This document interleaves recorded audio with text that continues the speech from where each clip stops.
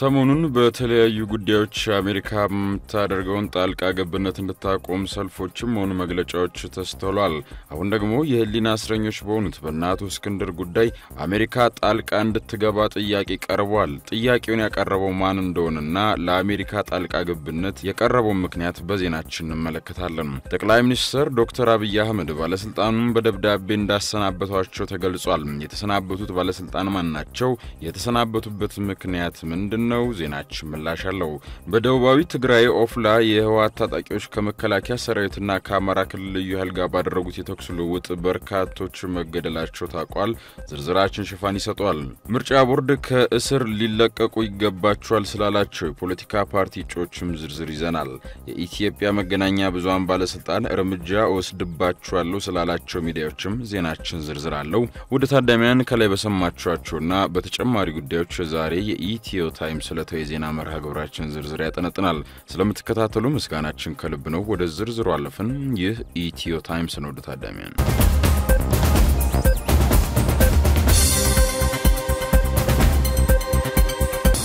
በደቡብ ትግራይ በትንሹ ሰማንያ ያህል የህወሀት አማጽያን ተገደሉ። በደቡባዊ ትግራይ ኦፍላ ወረዳ አውሸራ በተባለ ስፍራ በትላንትናው ዕለትና ዛሬ ከሰማንያ በላይ የሚሆኑ የህወሀት ታጣቂዎች በመከላከያ ሰራዊትና በአማራ ክልል ልዩ ኃይል መገደላቸውን መረጃዎች ደርሰውኛል ሲል ዋዜማ ራዲዮ ዘግቧል። የህወሀት ታጣቂዎች ኮረም ከተማ አካባቢ ሰፍሮ የነበረው የአማራ ክልል ልዩ ኃይልን ድንገት ለማጥቃት ሙከራ ማድረጋቸውን ተከትሎ የአማራ ክልል ልዩ ኃይል በወሰደው የአጸፋ እርምጃ በርካታ ታጣቂዎች መገደላቸውን የአካባቢ የአካባቢው ነዋሪዎች ተናግረዋል ተብሏል። የሀገር መከላከያ ሰራዊትን በደረሰው መረጃ መሰረት ወደ ስፍራው በመሄድ ከአማራ ክልል ልዩ ኃይል ጋር በጥምረት በወሰዱት እርምጃ ከሰማኒያ ያላነሱ የህወሓት ታጣቂዎች ተገድለዋል ሲሉ የአካባቢው ነዋሪዎች ገልጸዋል። የተቀናጀው የመከላከያ ሰራዊትና የአማራ ክልል ልዩ ኃይል የህወሓት ታጣቂዎችን ወደ መሸጉበት ተከታትሎ በመግባት ጥቃት መፈጸሙን ስለ ጉዳዩ የሚያውቁ የመንግስት መስተዳደር አካላት ተናግረዋል ነው የሚለው ዘገባው። ከቅዳሜ ጀምሮ እስከ እሁድ ድረስ በከባድ መሳሪያ በታገዘ ተኩስ ከአሸንጌ ኃይል በስተ ምዕራብ በኩል 20 ኪሎ ሜትር ገባ ብሎ በሚገኝ ተራራማ አካባቢ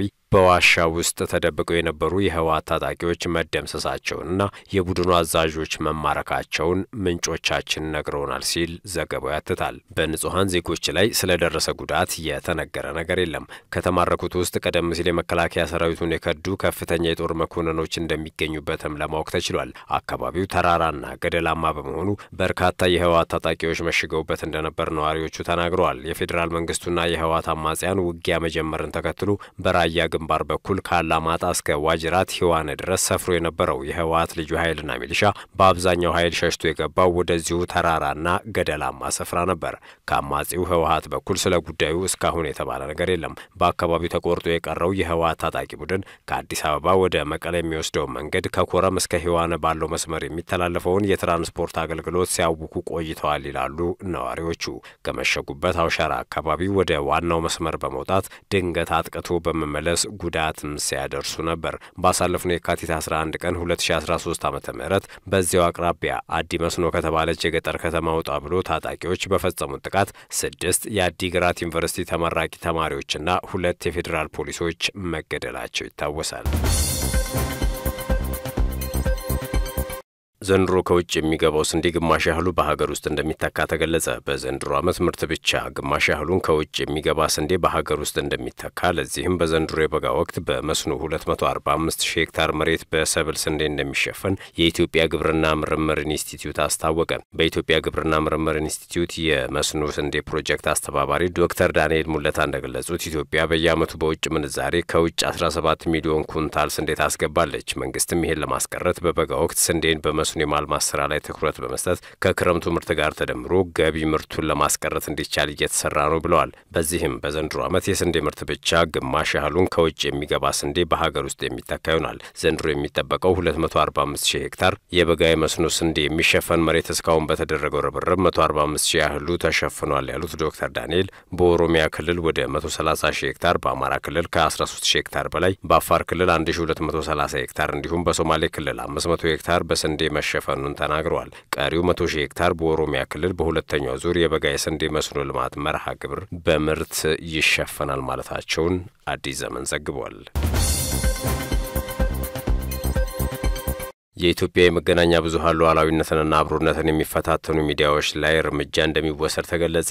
የሚዲያ monitoring ውጤቶችን መሰረት በማድረግ የሀገሪቱን ሉዓላዊነት የሚፈታተኑ የሕዝቦችን አብሮነትና የሀገርን ሰላም አደጋ ላይ የሚጥሉ ሚዲያዎች ላይ የማስተካከያና የእርምት እርምጃዎች እንደሚወስድ የኢትዮጵያ መገናኛ ብዙኃን ባለስልጣን አስታውቋል። የባለስልጣኑ ምክትል ዋና ዳይሬክተር አቶ ወንደሰን አንዱ አለም እንደገለጹት በትግራይ ክልል የተካሄደውን ዘመቻ ተከትሎ በክልሉ የተፈጠሩ ክስተቶችን አንዳንድ የውጭ መገናኛ ብዙኃን በአድሎ የተሞላ ሚዛ ሚዛናዊ ያልሆነ የትክክለኛነት ችግር ያለበት በተለያዩ ፍላጎቶች የተተበተበና የተለየ ተልዕኮ ያነገቡ ዜናዎችን፣ ዶክመንተሪዎችንና ሌሎች ዘገባዎችን እየሰሩ እንደሆነ የሚዲያ monitoring የሁኔታ ግምገማ ያመላክታል ብለዋል። አንዳንድ ዓለም አቀፍ ሚዲያዎች የሰሯቸው ዘገባዎች በአጠቃላይ የጋዜጠኝነት ሙያ አስተምህሮትና ሙያዊ የስነ ምግባር ጥያቄዎችን የሚያስነሳ ነው ያሉት አቶ ወንደሰን ስራዎቻቸው በጣም የሚያስተዛዝቡና የሚያበሳጩ ጭምር ናቸው ሲሉም ተናግረዋል። ዘርና ሃይማኖት ሳይለያየን ለሀገራችን የምንቆምበት ወሳኝ ወቅት ላይ እንገኛለን ብለዋል ፕሮፌሰር አደም ካሚል። ኢትዮጵያ ያለችበት ነባራዊ ሁኔታ የውጭም የውስጥም ኃይሎች በጋራ ሀገሪቱን ለመበታተን ቆርጦ የተነሱበት በመሆኑ ሁሉም ኢትዮጵያዊ በሀገሪቱ ላይ የተጋረጠውን አደጋ በመገንዘብ አደጋውን በጋራ ክንድ ሊመክተው እንደሚገባ ፕሮፌሰር አደም ካሚል አሳስበዋል። ፕሮፌሰር አደም እንደገለጹት ከለውጡ በኋላ ኢትዮጵያ ከመከፋፈል ይልቅ ወደ አንድነት መምጣቱ ያሳሰባቸውና የሀገሪቱ መረጋጋት የቀጠናውን መረጋጋት እንደሚያመጣ የተረዱ ሀገራት እየተፈጠረ ያለውን ህብረትና አንድነት ለመበተን ቀን ከሌት እየሰሩ ነው። የኢትዮጵያ መጠናከር እንደፈለጉ እጃቸውን ለመስደድ ለሚፈልጉ አካላት አመቺ አለመሆኑ ይህን የተረዱት አካላት ላለፉት ሰላሳ ዓመታት ስንከተለው የነበረውን የልዩነት ፖለቲካ ከአንድነት ይልቅ ልዩነትን፣ ከፍቅር ይልቅ ጥላቻን፣ አብሮ ከማደግ ይልቅ አብሮ መውደቅን የመረጠ ነበር ብለዋል። ይህ የፖለቲካ አካሄድ ሀገሪቱን ከውስጥ አልፎ ለውጭ ጠላቶች አሳልፎ እንደሰጣትም አስታውቀዋል። የኢትዮጵያ መጠንከር የማይሹና በተገኘው አጋጣሚ ሁሉ ድክመቷን ለሚመኙ አካላት ምቹ ሁኔታ ፈጥሮላቸው የቆየ መሆኑን የጠቆሙት ፕሮፌሰሩ እነዚህ ኃይሎች እንደገና ይህንን ከፋፋይ ስርዓት ለመመለስ የሞት ሽረት ትግል እያካሄዱ ነው ብለዋል። ቀደም ሲል ሊደፍሩን ወኔ የሌላቸው ሀገራት ጭምር ድንበራችንን በኃይል ለመውረር ችለዋል። አንዳንዶቹም ጭራሽ ሀገሪቱን ለማፈራረስ ቆርጠው ተነስተዋል ሲሉም ተናግረዋል። ሄደው ሄደውም የህዳሴ ግድብ ያረፈበትን የቤንሻንጉል ጉሙዝ ክልል የእኛ ነው የሚሉ ወገኖች ብቅ ብለዋል ያሉት ፕሮፌሰር አደም በርካታ የውጭ ተቋማትና ሚዲያዎቻቸውም ኢትዮጵያን ለማዳከምና የተጀመረውን የአንድነት መንፈስ ለመበረዝ ሌት ተቀን እየሰሩ መሆናቸውን ጠቁመዋል። የኢትዮጵያ ብሮድካስት ባለስልጣን ዋና ዳይሬክተር በይፋ ከኃላፊነት ለቀቁ። የኢትዮጵያ ብሮድካስት ባለስልጣን ዋና ዳይሬክተር ዶክተር ጌታቸው ድንቁ አቅርቦት የነበረው የስራ መልቀቂያ ደብዳቤ ተቀባይነት አግኝቷል። ለጥያቄው ጠቅላይ ሚኒስትር አብይ አህመድ ናቸው ምላሽ የሰጡት። ጠቅላይ ሚኒስትሩ ጥያቄውን ተቀብለው ማሰናበታቸውን የሚገልጽ ደብዳቤ እንደደረሳቸው ዶክተር ጌታቸው ነግረውኛል ሲል አላይን አማርኛ ዘግቧል። ደብዳቤው በጠቅላይ ሚኒስትሩ ተፈርሞ በጽህፈት ቤታቸው በኩል ለዶክተር ጌታቸው የደረሰ ሲሆን ካሳለፍነው መጋቢት አንድ ቀን 2013 ዓ ም ጀምሮ ስንብቱ የተፈቀደላቸው መሆኑን ያትታል። የአዲስ አበባ ዩኒቨርሲቲ ጋዜጠኝነት መምህሩ ከመጋቢት 27 ቀን 2011 ዓ ም ጀምሮ ነበር በጠቅላይ ሚኒስትሩ ሻሚነት ባለስልጣኑን በዋና ዳይሬክተርነት ያገለገሉት። ባለስልጣኑ የሚዲያ ዘርፉን ለማሻሻል ሲያደርግ የነበረውን ጥረት ሲመሩናም ሲያስተባብሩም ነበር። ሆኖም ካሳለፍነው ወር የመጨረሻ ሳምንታት ጀምሮ ተቋሙን ለመልቀቅ ስለመጠየቃቸውም ሲነገር ሰንብቷል። ከኃላፊነት ለመልቀቅ የፈለጉበትን ምክንያት ግን ከመግለጽ ተቆጥበዋል። ዶክተር ጌታቸውን ተክቶ ተቋሙን ማን ሊመራ እንደሚችል ከጠቅላይ ሚኒስትሩም ሆነ ከጽህፈት ቤታቸው የተገለጸ ነገር የለም። አቶ ወንደሰን አንዱ አለም የባለስልጣኑ ምክትል ዋና ዳይሬክተር ሆነው በማገልገል ላይ እንደሚገኙ ይታወቃል። በትግራይ ክልል የተደረገውን ጦርነት ተከትሎ በክልሉ የሚገኙ የጤና ተቋማት ተዘርፈዋል አሊያም ሆን ተብሎ እንዲወድሙ ተደርገዋል ሲል ዓለም አቀፍ ድንበር የለሽ የሐኪሞች ቡድን አስታወቀ።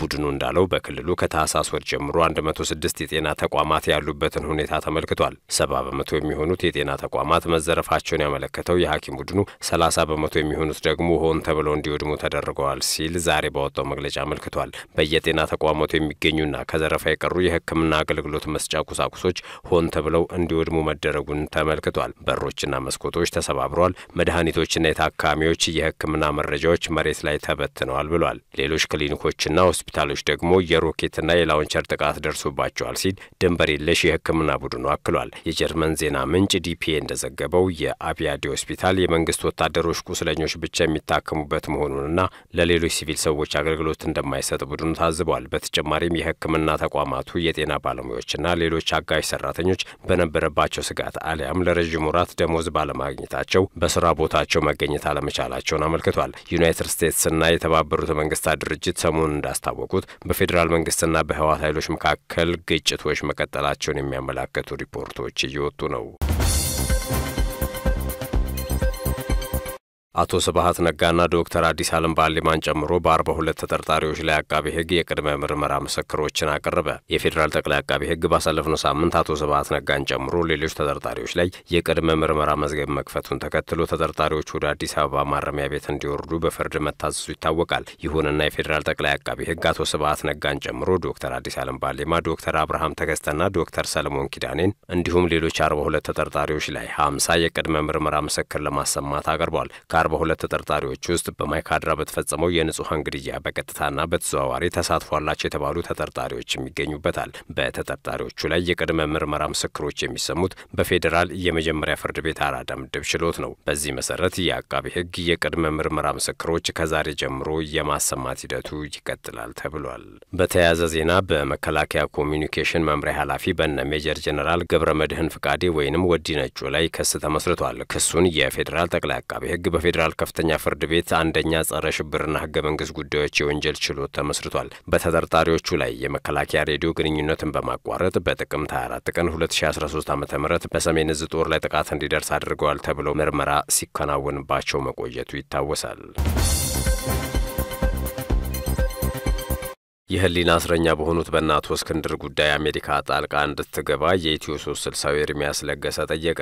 የኢትዮ ሶስት ስልሳው አቶ ኤርሚያስ ለገሰ ጠየቀ ከሰዓታት በፊት አቶ ኤርሚያስ በማህበራዊ ትስስር ገጹ እንዳጋራው አሜሪካ ዜግነቴ ናት፣ ሁለተኛው ሀገሬም ናት፣ ለልጆቼ ደግሞ ማንነታቸው ናት። እናት አሜሪካ ማንነቴ ለሆነ ኢትዮጵያና ኢትዮጵያዊነቴ ደጋፊ እንጂ ጠላት አይደለችም ሲል በኢትዮጵያና ከኢትዮጵያ አንድነት እንጂ ከኢትዮጵያ መበታተን አሜሪካ አታተርፍም የሚል ሀሳብን አስረግጦ ተናግሯል። አሜሪካ የቆመ ችበት ምሰሶ እንዲሁም የመሪና የአመራር ስርዓት ትርጉም ለሚገባው ሰው ይህ አይጠፋውም የሚለው ኤርሚያስ እስከማውቀውና እስከ ገባኝ ድረስ አሜሪካ በኢትዮጵያ ሰብአዊ መብት ተረግጦ ዴሞክራሲ ሰፍኖ ሁለንተናዊ ልማትና ሰላም መጥቶ የተረጋጋች ሀገር እንድትሆን ትፈልጋለች ሲልም አስፍሯል። ደስተኛ ማህበረሰብ እንዲፈጠር ትፈልጋለች በማለትም ጭምር አሜሪካ በሀገሯ የሚኖሩ ኢትዮጵያውያን ወደ ሀገራቸው የሚልኩት remittance ከውጭ ንግድ በላይ መሆኑን ሳያውቁ ቀርቶ አይደለም ሲልም ነው የገለጸው። ሌላው ቀርቶ ይላል አቶ ኤርሚያስ ለገሰ፣ ሌላው ቀርቶ አሜሪካ የውጭ ፖሊሲዋንም ማስፈጸም ብትፈልግ እንኳን አንድነቷን በጠበቀች ኢትዮጵያ ላይ እንጂ በፈራረሰች ኢትዮጵያ ላይ አይደለም ሲል ሀሳቡን አክሏል።